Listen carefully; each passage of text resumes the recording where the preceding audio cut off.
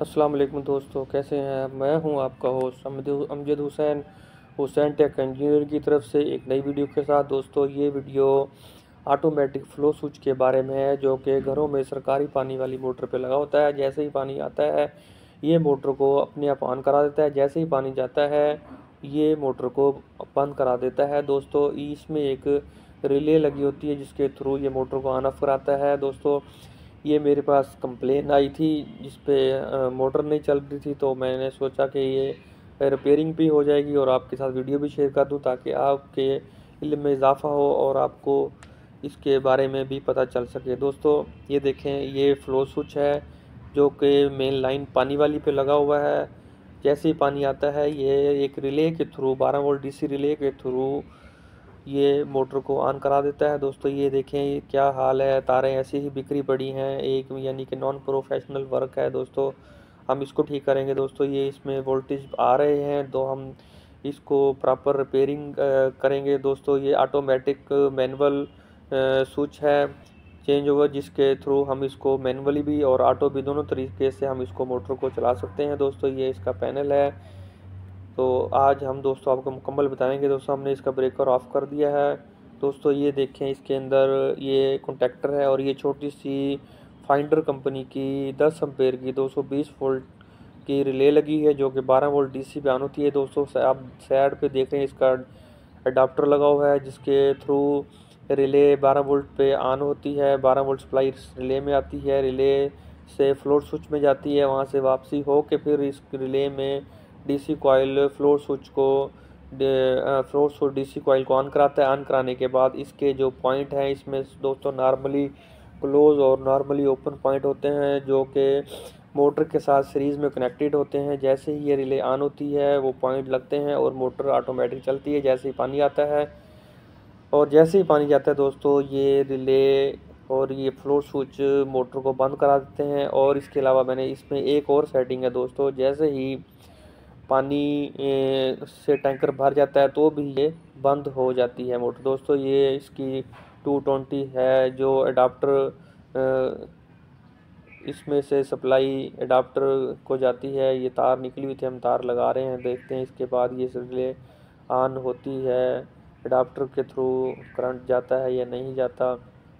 दोस्तों अगर मेरी वीडियो आपको अच्छी लगे तो आपने इसको लाइक और शेयर लाजमी करना है सब्सक्राइब कर दिए दीजिएगा ताकि मेरी आने वाली वीडियो आप तक आसानी से पहुँच सकें। दोस्तों, इस रिले और फ्लोट स्विच के बारे में मैं एक डायग्राम बनाऊँगा जिसके थ्रू आपको मुकम्मल समझाऊँगा। दोस्तों, ये हमने तार लगा दिया है, ये साकट में टू ट्वेंटी ये हम मीटर पे देखते हैं कि इसमें टू ट्वेंटी वोल्टेज आ रहे हैं या नहीं आ रहे। दोस्तों, ये देखें अडाप्टर में दो सौ तीस वोल्टेज आ रहे हैं, यानी कि हमारी जो एसी सप्लाई है वो ठीक है। हम इसको डीसी 12 वोल्ट पे चेक कर रहे हैं कि अडाप्टर आउटपुट 200 12 वोल्ट आ रही है नहीं। दोस्तों ये इसके दो और सात इस रिले के कॉयल पॉइंट होते हैं। अब हम इस पर मीटर की प्रॉब रख के चेक करते हैं। दोस्तों, ये देखें, इसमें 12 वोल्ट आ रहे हैं, यानी कि हमारा अडाप्टर भी बिल्कुल ठीक काम कर रहा है। दोस्तों अब हम इस रिले को देखेंगे दोस्तों। चल चल के इस रिले के जो normally close normally open point होते हैं, वो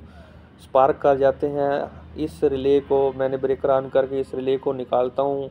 उसके बाद देखते हैं कि ये इसके पॉइंट ठीक है या नहीं, क्योंकि इसमें से आउटपुट जो निकलेगी दोस्तों मोटर की तार इसमें से आके वापसी जाती है, जो कि ये देखें दोस्तों, इसके लिए डीसी 12 वोल्ट रिले है, ये ऑन कराती है तो मोटर चलती है। हमने देखा कि अडाप्टर भी ठीक है रिले भी लग रही है, लेकिन इसके पॉइंट आउटपुट मोटर को नहीं ऑन करा रहे। दोस्तों, अब हम इस रिले को खोल के वर्कशॉप में ले जा के इसको रिपेयर करने की कोशिश करते हैं। अगर ये रिपेयर हो जाती है तो ठीक है। दोस्तों, ये देखें, हमारे तीन और पाँच जो कॉइल हैं, वो नॉर्मली क्लोज हैं और इसमें छः और आठ भी होते हैं नॉर्मली क्लोज, दो पॉइंट नॉर्मली क्लोज के होते हैं और दो पॉइंट नॉर्मली ओपन के होते हैं दोस्तों। अब मैं इस रिले को खोल के आपको दिखाता हूँ कि वर्क कर रही है या नहीं कर रही।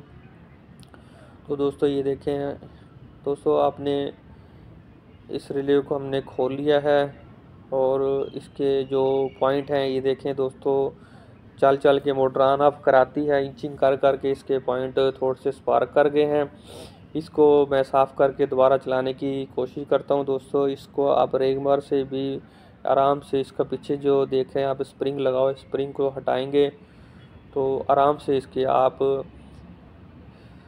इसके कार्बन आ जाता है, इस पर स्पार्क हो जाती है दोस्तों। इसको आप बसानी ये स्प्रिंग हटाकर आप इसको बसानी रिपेयर भी कर सकते हैं। ये देखें दोस्तों, इसके पॉइंट हैं, ये हमने हटा लिए हैं।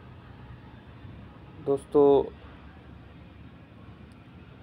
ये इसके पॉइंट आप रेग मार से भी हल्के से इसको साफ़ कर सकते हैं। ये देखें, पॉइंट इतने स्पार्क नहीं हुए थे दोबारा चल सकते हैं दोस्तों, क्योंकि इसमें से हम हाईली करंट नहीं पास कर सकते। हाईली करंट के लिए हमें एक्जरली कंटेक्टर इस्तेमाल करना पड़ता है। इसमें से सिर्फ़ मोटर के तीन अम्पेयर हमारे ढाई एम्पेयर होके गुजरते हैं, जो कि नॉर्मल होता है। ये रिले यहाँ पे बहुत पुरानी लगी हुई है, तीन चार साल से तो इतने अरसे में तो ये थोड़ी बहुत ही रिपेयरिंग तो मांगती है। बशर्ते रिपेयरिंग भी उस सूरत में होती है कि अगर इसका डीसी जो कॉयल है वो ठीक हो। अगर वो ख़राब हो तो दोस्तों फिर ये रिले नहीं लेनी पड़ती है रिले नहीं बनती। दोस्तों, मेरा मकसद इस वीडियो को बनाना यही है कि ये आप तक इंफॉर्मेटिव वीडियो आप तक पहुँचे। दोस्तों, अगर मेरी वीडियो आपको अच्छी लगे तो आपने वीडियो को पूरा देखना है, इसको लाइक भी करें, सब्सक्राइब भी करें और शेयर भी करना मत भूलिए दोस्तों। और बेल आइकन को लाजमी दबा दीजिएगा ताकि मेरी आने वाली वीडियो अब तक बसानी पहुँच सकें। दोस्तों, मैंने इस रिले को साफ़ कर दिया है। अब हम इसका स्प्रिंग दोबारा लगाएँगे, इसको फिट करेंगे दोबारा। ये आपने स्प्रिंग लगाना है ताकि ये नॉर्मली और नॉर्मली क्लोज़ पॉइंटों को लगाता और हटाता है। इस स्प्रिंग से रिले इंचिंग करती है, ये देखें। ये रिले अब इसको मीटर से चेक करेंगे हम, देखें मीटर को हमने कंटिन्यूटी पे रख लेना है। ये मेन चीज़ है, मीटर को कंटिन्यूटी पे रखें, उसके बाद इसके हल्का से पीछे से प्रेस करेंगे। प्रेस करके आप देखेंगे कि इसके नॉर्मली क्लोज पॉइंट ये देखें मैंने हल्का से इसको दबाया है। देखने दबाने के बाद मैं चेक करूँगा कि इसके नॉर्मली क्लोज पॉइंट काम कर रहे हैं ये नहीं कर रहे। तो दोस्तों ये देखें, इसके पॉइंट जो हैं, वो प्रॉपर अब काम कर रहे हैं। जो कार्बन से हमने हटा दिए इन पे और एक मर साफ़ किए थे। रिले अब तकरीबन ठीक हो चुकी है। ये देखें, ये रिले हमारी ठीक है, जो कि इसके पॉइंट अब ठीक काम कर रहे हैं। दोस्तों, इस रिले, ये 12 वोल्ट डीसी रिले होती है।